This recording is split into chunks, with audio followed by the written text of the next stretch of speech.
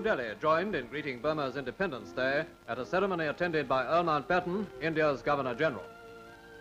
In Rangoon itself, 4.20 a.m. was the hour fixed by Burmese astrologers as the most auspicious time for the transfer of power. After the Union Jack had been replaced by the flag of independent Burma, the members of the new government were sworn in.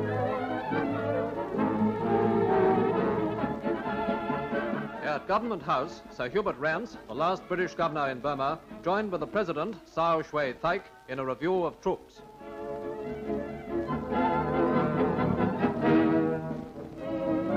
Later, the governor went aboard the cruiser Birmingham and from her deck took leave of the new Burma amid the good wishes of her people.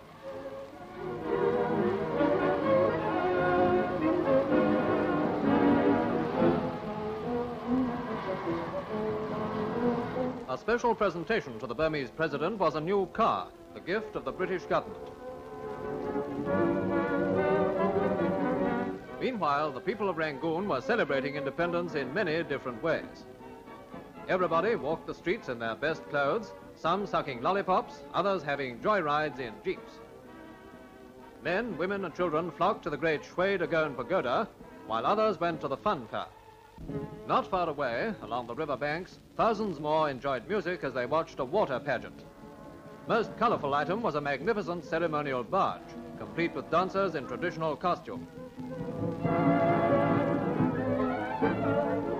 The great statue of Buddha looks down on the people's rejoicings as Burma begins a new chapter in her ancient story.